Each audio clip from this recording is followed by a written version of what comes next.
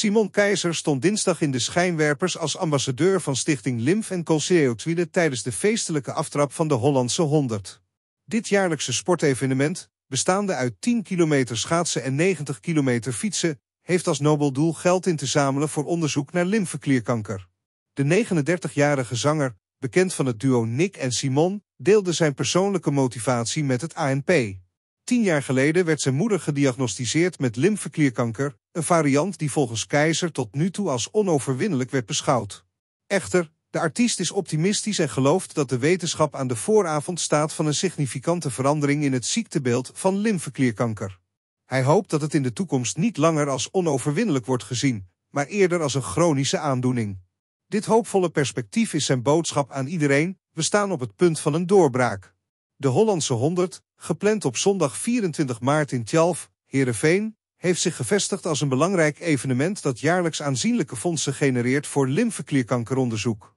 Voor Keizer, die zijn eerste meters op het ijs maakte, is de betrokkenheid bij het evenement meer dan alleen fysieke uitdagingen overwinnen. Voorafgaand aan zijn schaatsrondjes sprak hij met artsen die deel uitmaken van het lopende onderzoek dat door de opbrengst van dit jaar wordt gefinancierd.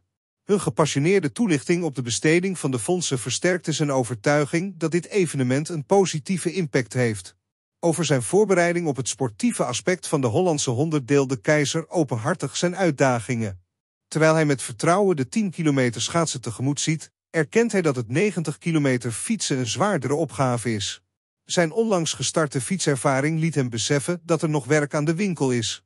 Een bemoedigend gebaar van voormalig topschaatster Marianne Timmer, die hem leerde hoe hij behendig door bochten kon schaatsen, voegde een positieve noot toe aan zijn ijsavontuur.